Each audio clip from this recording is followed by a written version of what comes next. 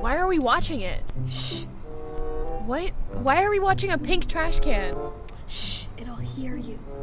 I just want to know why we're watching a pink trash can instead of getting Dunkin'. Well, if you must. I would like to, yes. That trash can is sketchy. Right. Haven't you heard the stories? I mean, sure, but The trash can was an old teacher that an evil student witch turned into a trash can for revenge. I heard it's an old student that wished from a genie to become a trash can. Nah, the government put it there to watch over the citizens and collect information for the Grand Canyon. Lies. It's a rocket that will only launch on Michael Jackson's resurrection. It's not a rocket. Science says that on the full moon it turns into a human. When you slap it, it says gee whiz. Have you slapped it? Why would I slap a trash can? If you sleep in it, it you turn into an almighty monkey.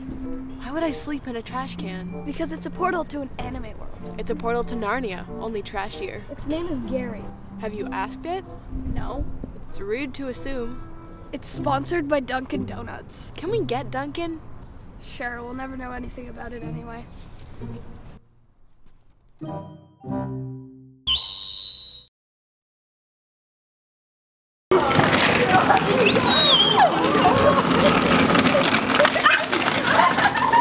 Mission failed. Look at him next time!